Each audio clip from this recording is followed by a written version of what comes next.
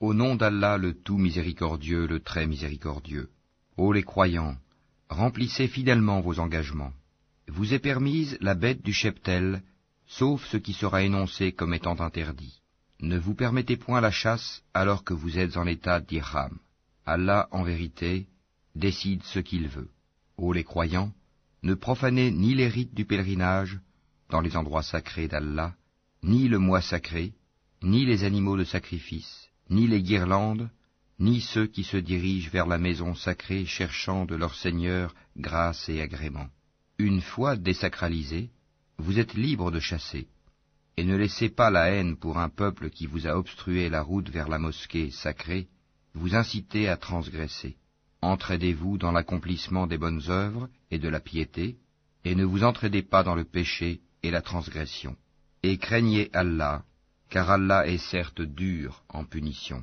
Vous sont interdits la bête trouvée morte, le sang, la chair de porc, ce sur quoi on a invoqué un autre nom que celui d'Allah, la bête étouffée, la bête assommée ou morte d'une chute, ou morte d'un coup de corne, et celle qu'une bête féroce a dévorée, sauf celle que vous égorgez avant qu'elle ne soit morte.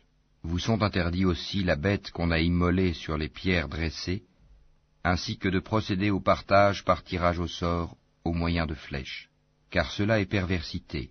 Aujourd'hui, les mécréants désespèrent de vous détourner de votre religion. Ne les craignez donc pas, et craignez-moi. Aujourd'hui, j'ai parachevé pour vous votre religion, et accompli sur vous mon bienfait, et j'agrée l'islam comme religion pour vous. Si quelqu'un est contraint par la faim, sans inclination vers le péché, alors Allah est pardonneur et miséricordieux. Il t'interroge sur ce qui leur est permis. Dis, vous sont permises les bonnes nourritures, ainsi que ce que capturent les carnassiers que vous avez dressés, en leur apprenant ce qu'Allah vous a appris. Mangez donc de ce qu'elles capturent pour vous, et prononcez dessus le nom d'Allah, et craignez Allah, car Allah est certes prompt dans les comptes. Vous sont permises aujourd'hui les bonnes nourritures. Vous est permise la nourriture des gens du livre, et votre propre nourriture leur est permise. Vous sont permises les femmes vertueuses d'entre les croyantes, et les femmes vertueuses d'entre les gens qui ont reçu le livre avant vous, si vous leur donnez leur mare, avec contrat de mariage, non en débauché ni en preneur d'amante.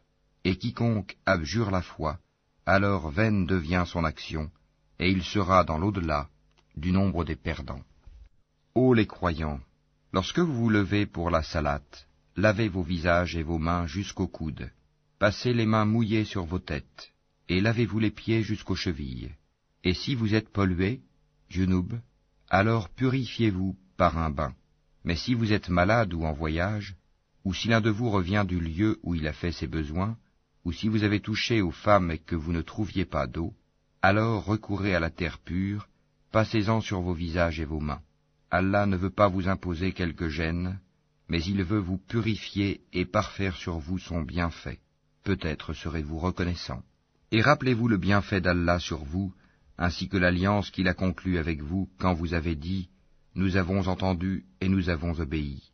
Et craignez Allah, car Allah connaît parfaitement le contenu des cœurs. Ô croyants, soyez stricts dans vos devoirs envers Allah, et soyez des témoins équitables, et que la haine pour un peuple ne vous incite pas à être injuste. Pratiquez l'équité, cela est plus proche de la piété. Et craignez Allah, car Allah est certes parfaitement connaisseur de ce que vous faites. Allah a promis à ceux qui croient et font de bonnes œuvres qu'il y aura pour eux un pardon et une énorme récompense. Quant à ceux qui ne croient pas et traitent de mensonges nos preuves, ceux-là sont des gens de l'enfer. Ô les croyants, rappelez-vous le bienfait d'Allah à votre égard, le jour où un groupe d'ennemis s'apprêtait à porter la main sur vous, en vue de vous attaquer, et qu'il repoussa leur tentative.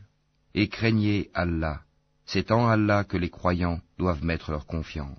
Et Allah certes prit l'engagement des enfants d'Israël.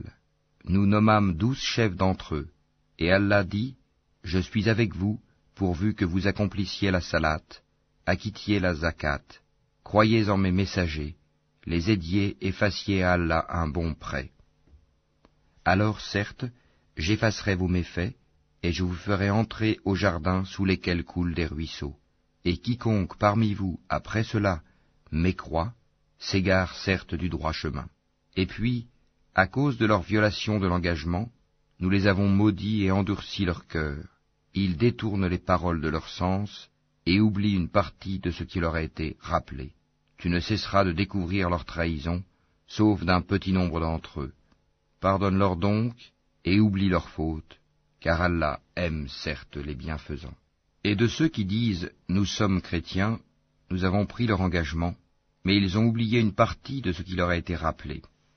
Nous avons donc suscité entre eux l'inimitié et la haine jusqu'au jour de la résurrection, et Allah les informera de ce qu'ils faisaient. Ô gens du livre, notre messager, Mohammed, vous est certes venu, vous exposant beaucoup de ce que vous cachiez du livre, et passant sur bien autre chose. Une lumière et un livre explicite vous sont certes venus d'Allah. Par ceci, le Coran, Allah guide au chemin du salut ceux qui cherchent son agrément, et il les fait sortir des ténèbres à la lumière par sa grâce, et il les guide vers un chemin droit. Certes sont mécréants ceux qui disent Allah c'est le Messie fils de Marie.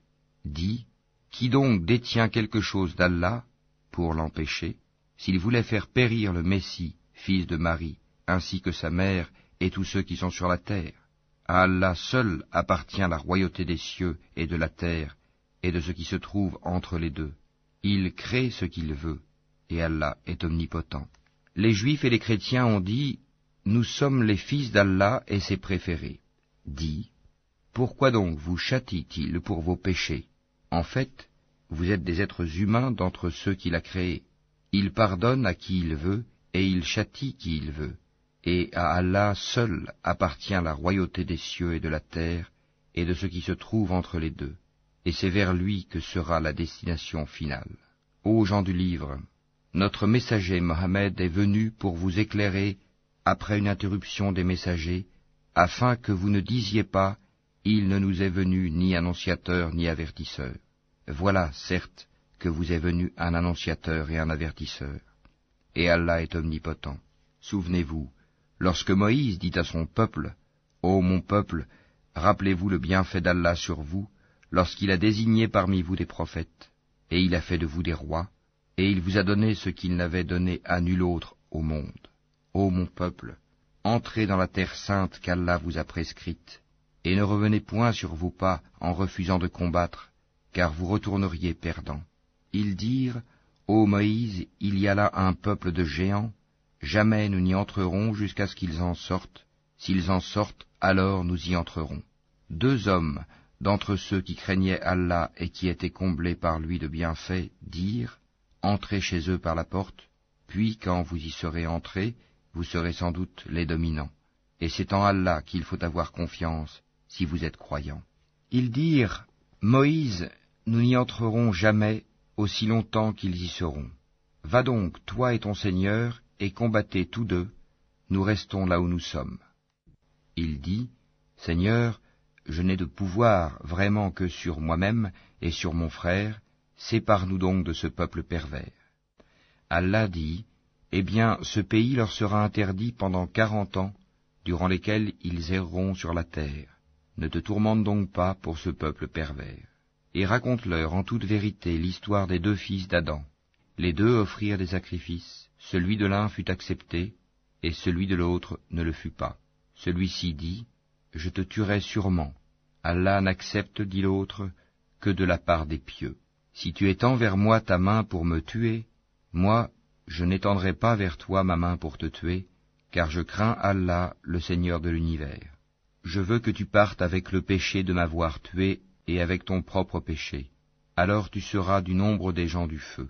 Telle est la récompense des injustes. Son âme l'incita à tuer son frère.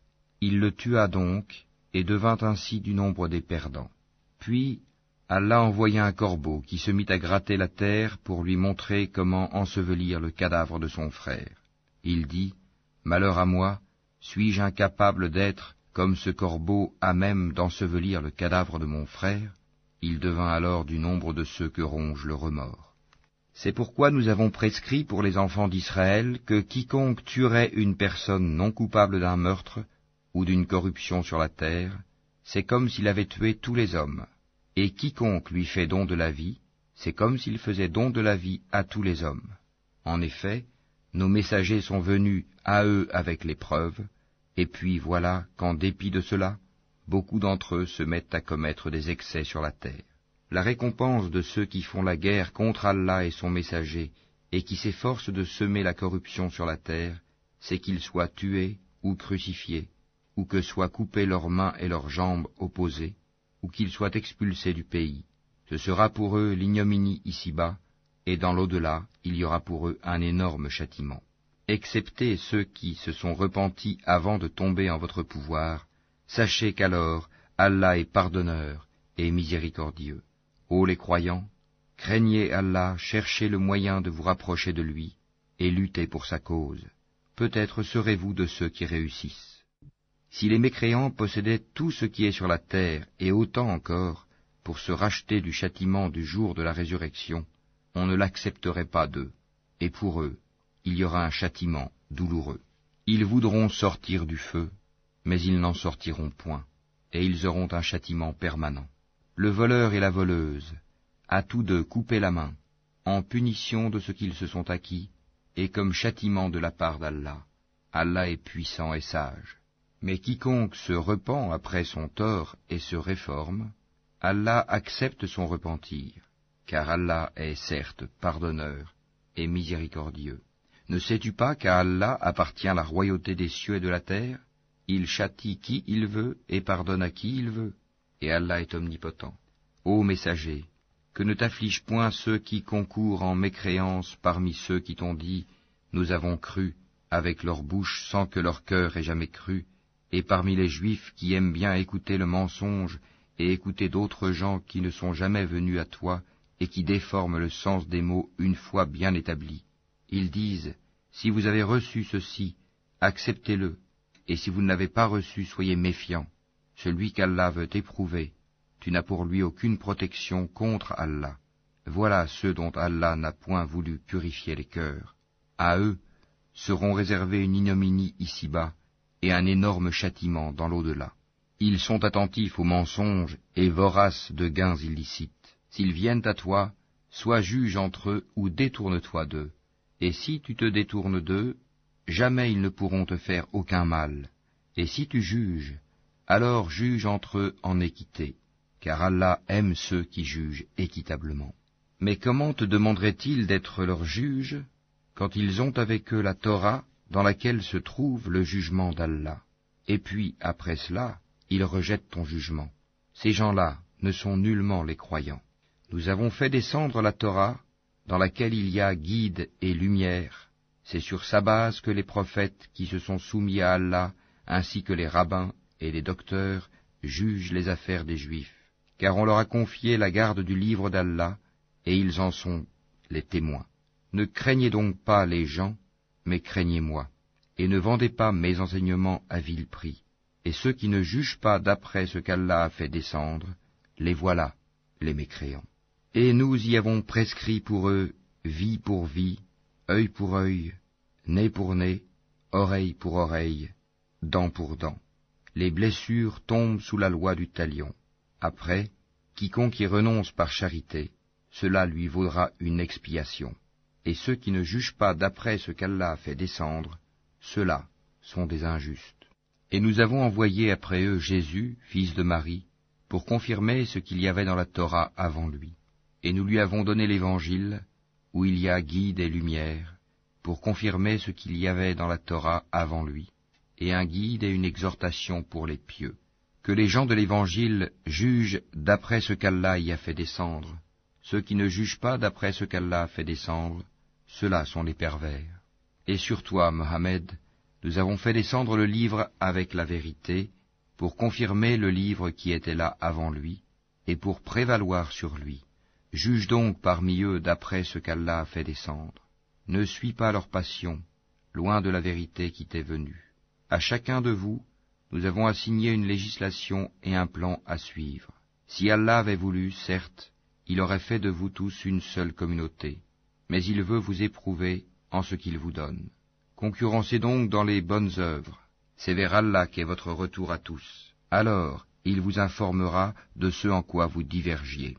Juge alors parmi eux d'après ce qu'Allah a fait descendre. Ne suis pas leur passion, et prends garde qu'ils ne tentent de t'éloigner d'une partie de ce qu'Allah t'a révélé. Et puis, s'ils refusent le jugement révélé, sache qu'Allah veut les affliger ici-bas pour une partie de leurs péchés. Beaucoup de gens, certes, sont des pervers. Est-ce donc le jugement du temps de l'ignorance qu'ils cherchent? Qu'y a-t-il de meilleur qu'Allah en matière de jugement pour des gens qui ont une foi ferme? Ô les croyants, ne prenez pas pour alliés les juifs et les chrétiens. Ils sont alliés les uns des autres, et celui d'entre vous qui les prend pour alliés devient un des leurs. Allah ne guide certes pas les gens injustes. Tu verras d'ailleurs que ceux qui ont la maladie au cœur se précipitent vers eux et disent Nous craignons qu'un revers de fortune ne nous frappe, mais peut-être qu'Allah fera venir la victoire ou un ordre émanant de lui. Alors, ceux-là regretteront leurs pensées secrètes. Et les croyants diront Est-ce là ceux qui juraient par Allah de toute leur force qu'ils étaient avec vous? Mais leurs actions sont devenues vaines, et ils sont devenus perdants. Ô les croyants, quiconque parmi vous apostasie de sa religion, Allah va faire venir un peuple qu'il aime et qui l'aime, modeste envers les croyants et fier et puissant envers les mécréants, qui lutte dans le sentier d'Allah, ne craignant le blâme d'aucun blâmeur. Telle est la grâce d'Allah, il la donne à qui il veut. Allah est immense et omniscient. Vous n'avez d'autre allié qu'Allah, son messager, et les croyants qui accomplissent la salat s'acquittent de la zakat et s'inclinent devant Allah. Et quiconque prend pour allié Allah, son messager et les croyants, réussira car c'est le parti d'Allah qui sera victorieux. Ô les croyants, n'adoptez pas pour alliés ceux qui prennent en raillerie et jeu votre religion, parmi ceux à qui le livre fut donné avant vous et parmi les mécréants. Et craignez Allah si vous êtes croyants. Et lorsque vous faites l'appel à la salat, ils la prennent en raillerie et jeu, c'est qu'ils sont des gens qui ne raisonnent point. Dis, ô gens du livre, est-ce que vous nous reprochez autre chose que de croire en Allah, à ce qu'on a fait descendre vers nous, et à ce qu'on a fait descendre auparavant? Mais la plupart d'entre vous sont des pervers. Dis, puis-je vous informer de ce qu'il y a de pire en fait de rétribution auprès d'Allah, celui qu'Allah a maudit, celui qui a encouru sa colère, et ceux dont il a fait des singes, des porcs, et de même celui qui a adoré le tagut, ceux-là ont la pire des places et sont les plus égarés du chemin droit. Lorsqu'ils viennent chez vous, ils disent Nous croyons, alors qu'ils sont entrés avec la mécréance et qu'ils sont sortis avec, et Allah sait parfaitement ce qu'ils cachent. Et tu verras beaucoup d'entre eux se précipiter vers le péché et l'iniquité, et manger des gains illicites, comme est donc mauvais ce qu'ils œuvrent. Pourquoi les rabbins et les docteurs de la loi religieuse ne les empêchent-ils pas de tenir des propos mensongers et de manger des gains illicites? Que leurs actions sont donc mauvaises. Et les Juifs disent, La main d'Allah est fermée, que leur propre main soit fermée et maudit soit-il pour l'avoir dit. Au contraire, ses deux mains sont largement ouvertes, il distribue ses dons comme il veut, et certes, ce qui a été descendu vers toi de la part de ton Seigneur va faire beaucoup croître parmi eux la rébellion et la mécréance. Nous avons jeté parmi eux l'inimitié et la haine jusqu'au jour de la résurrection. Toutes les fois qu'ils allument un feu pour la guerre, Allah l'éteint, et ils s'efforcent de semer le désordre sur la terre, alors qu'Allah n'aime pas les semeurs de désordre.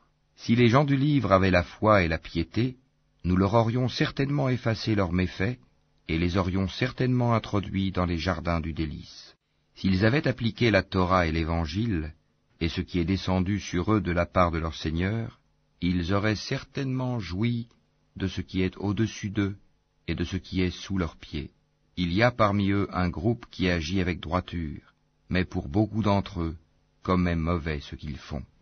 Ô messager, transmets ce qui t'a été descendu de la part de ton Seigneur. Si tu ne le faisais pas, alors tu n'aurais pas communiqué son message, et Allah te protégera des gens.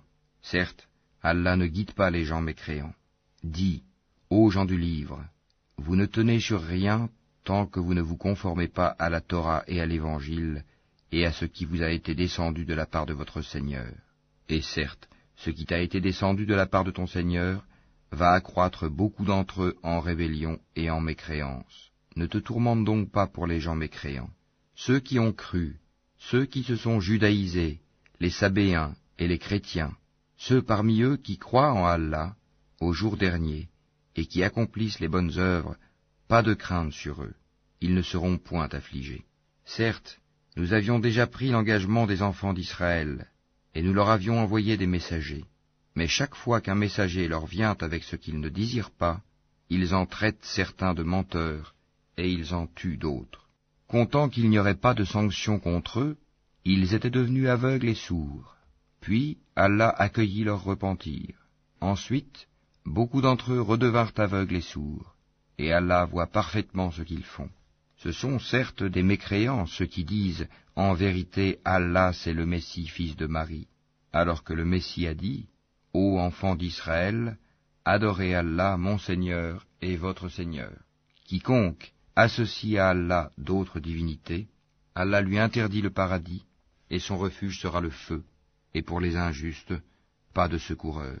Ce sont certes des mécréants ceux qui disent En vérité Allah est le troisième de trois alors qu'il n'y a de divinité qu'une divinité unique. Et s'ils ne cessent de le dire, certes, un châtiment douloureux touchera les mécréants d'entre eux.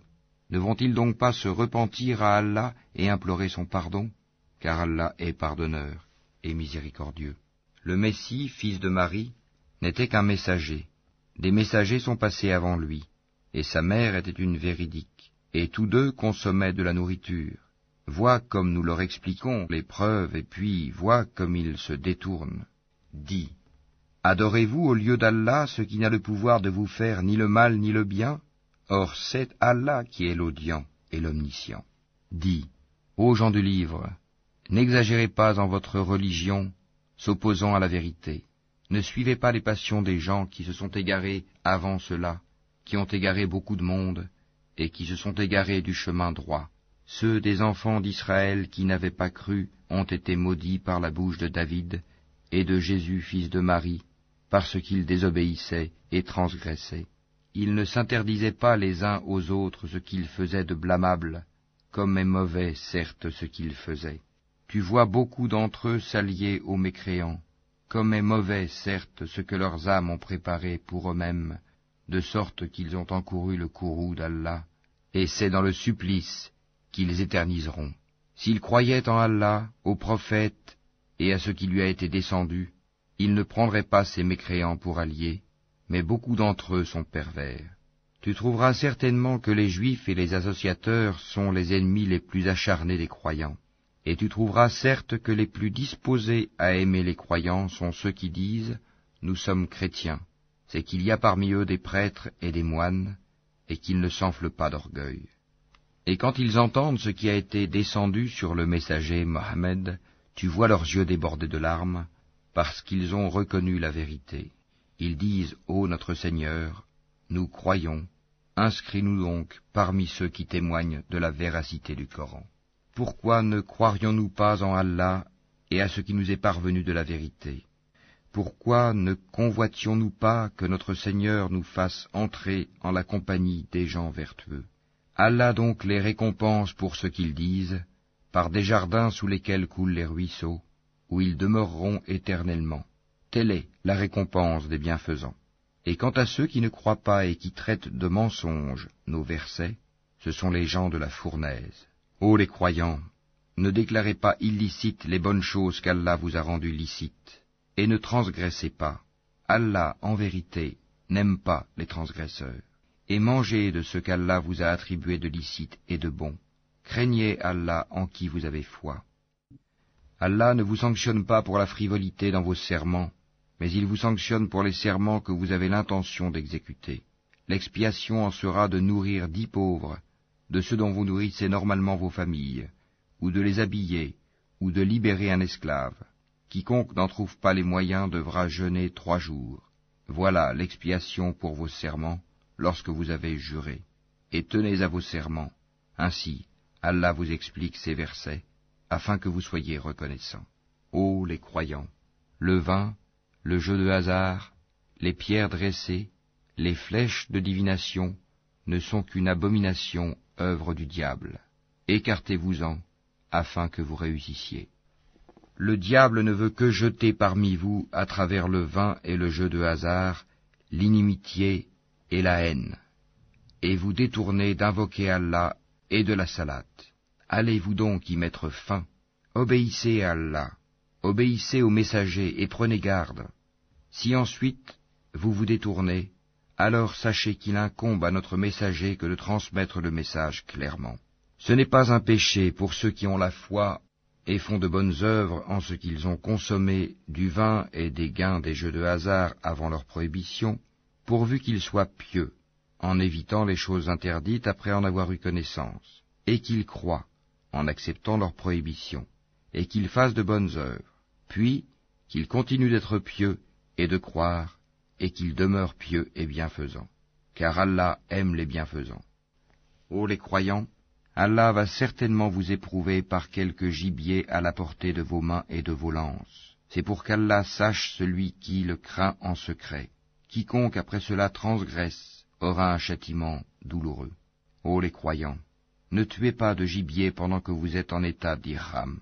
Quiconque parmi vous en tue délibérément, qu'il compense alors soit par quelque bête de troupeau, semblable à ce qu'il a tué, d'après le jugement de deux personnes intègres parmi vous, et cela en offrande qu'il fera parvenir à destination des pauvres de la Kahaba, ou bien par une expiation en nourrissant des pauvres, ou par l'équivalent en jeûne. Cela, afin qu'il goûte à la mauvaise conséquence de son acte. Allah a pardonné ce qui est passé, mais quiconque récidive, Allah le punira, Allah est puissant et détenteur du pouvoir de punir. La chasse en mer vous est permise, et aussi d'en manger, pour votre jouissance et celle des voyageurs. Et vous êtes illicite la chasse à terre tant que vous êtes en état d'Irham, et craignez Allah vers qui vous serez rassemblés. Allah a institué la Kaaba, la maison sacrée, comme un lieu de rassemblement pour les gens. Il a institué le mois sacré, l'offrande d'animaux et les guirlandes, afin que vous sachiez que vraiment Allah sait tout ce qui est dans les cieux et sur la terre, et que vraiment Allah est omniscient.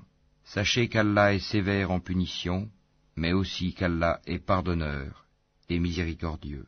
Il n'incombe au messager que de transmettre le message, et Allah sait ce que vous divulguez, tout comme ce que vous cachez. Dis, le mauvais et le bon ne sont pas semblables, même si l'abondance du mal te séduit. Craignez Allah donc, ô gens intelligents, afin que vous réussissiez. Ô les croyants, ne posez pas de questions sur des choses qui, si elles vous étaient divulguées, vous mécontenteraient. Et si vous posez des questions à leur sujet, pendant que le Coran est révélé, elles vous seront divulguées. Allah vous a pardonné cela, et Allah est pardonneur et indulgent. Un peuple avant vous avait posé des questions pareilles, puis devinrent de leur fait mécréants. Allah n'a pas institué la Baïra la saïba, la voisila ni le ham, mais ceux qui ont mécru ont inventé ce mensonge contre Allah, et la plupart d'entre eux ne raisonnent pas. Et quand on leur dit Venez vers ce qu'Allah a fait descendre, la révélation, et vers le messager, ils disent Il nous suffit de ce sur quoi nous avons trouvé nos ancêtres. Quoi? Même si leurs ancêtres ne savaient rien et n'étaient pas sur le bon chemin? Ô les croyants, vous êtes responsables de vous-mêmes, celui qui s'égare ne vous nuira point, si vous, vous avez pris la bonne voie. C'est vers Allah que vous retournerez tous. Alors, il vous informera de ce que vous faisiez. Ô les croyants, quand la mort se présente à l'un de vous, le testament sera attesté par deux hommes intègres d'entre vous, ou deux autres, non des vôtres, si vous êtes en voyage dans le monde et que la mort vous frappe. Vous les retiendrez, les deux témoins, après la salate, puis, si vous avez des doutes, vous les ferez jurer par Allah. Nous ne faisons aucun commerce ou profit avec cela, même s'il s'agit d'un proche, et nous ne cacherons point le témoignage d'Allah, sinon nous serions du nombre des pécheurs. Si l'on découvre que ces deux témoins sont coupables de péché, deux autres plus intègres parmi ceux auxquels le tort a été fait prendront leur place, et tous deux jureront par Allah, en vérité, notre témoignage est plus juste que le témoignage de ces deux-là, et nous ne transgressons point, Sinon, nous serions certainement du nombre des injustes. C'est le moyen le plus sûr pour les inciter à fournir le témoignage en sa forme réelle, ou leur faire craindre de voir d'autres serments se substituer aux leurs. Et craignez Allah, et écoutez, Allah ne guide pas les gens pervers. Rappelle-toi le jour où Allah rassemblera tous les messagers, et qu'il dira, Que vous a-t-on donné comme réponse? Ils diront, Nous n'avons aucun savoir, c'est toi vraiment le grand connaisseur de tout ce qui est inconnu. Et quand Allah dira, Ô Jésus, fils de Marie, Rappelle-toi mon bienfait sur toi et sur ta mère quand je te fortifiais du Saint-Esprit, au berceau tu parlais aux gens, tout comme en ton âge mûr, je t'enseignais le livre, la sagesse, la Torah et l'Évangile, tu fabriquais de l'argile comme une forme d'oiseau par ma permission, puis tu soufflais dedans. Alors, par ma permission, elle devenait oiseau, et tu guérissais par ma permission l'aveugle né et le lépreux, et par ma permission tu faisais revivre les morts, je te protégeais contre les enfants d'Israël, pendant que tu leur apportais l'épreuve, mais ceux d'entre eux qui ne croyaient pas dirent, Ceci n'est que de la magie évidente. Et quand j'ai révélé aux apôtres ceci, Croyez en moi et en mon messager Jésus, ils dirent, Nous croyons, et attestent que nous sommes entièrement soumis. Rappelle-toi le moment où les apôtres dirent, Ô Jésus, fils de Marie, se peut-il que ton Seigneur fasse descendre sur nous du ciel une table servie? Il leur dit, Craignez plutôt Allah si vous êtes croyants. Ils dirent, Nous voulons en manger, rassurer ainsi nos cœurs, savoir que tu nous as réellement dit la vérité, et en être parmi les témoins. Ô Allah, notre Seigneur, dit Jésus, fils de Marie, fais descendre du ciel sur nous une table servie qui soit une fête pour nous, pour le premier d'entre nous, comme pour le dernier, ainsi qu'un signe de ta part. Nourris-nous, tu es le meilleur des nourrisseurs. Oui, dit Allah, je la ferai descendre sur vous. Mais ensuite, quiconque d'entre vous refuse de croire, je le châtierai d'un châtiment dont je ne châtierai personne d'autre dans l'univers. Rappelle-leur le moment où Allah dira, Ô Jésus, fils de Marie, est-ce toi qui as dit aux gens, Prenez-moi ainsi que ma mère pour deux divinités en dehors d'Allah? Il dira, Gloire et pureté à toi. Il ne m'appartient pas de déclarer ce que je n'ai pas le droit de dire. Si je l'avais dit, tu l'aurais su, certes. Tu sais ce qu'il y a en moi, et je ne sais pas ce qu'il y a en toi. Tu es, en vérité, le grand connaisseur de tout ce qui est inconnu. Je ne leur ai dit que ce que tu m'avais commandé, à savoir, adorez Allah mon Seigneur et votre Seigneur. Et je fus témoin contre eux aussi longtemps que je fus parmi eux. Puis, quand tu m'as rappelé, c'est toi qui fus leur observateur attentif. Et tu es témoin de toutes choses. Si tu les châties, ils sont tes serviteurs. Et si tu leur pardonnes, c'est toi le puissant, le sage.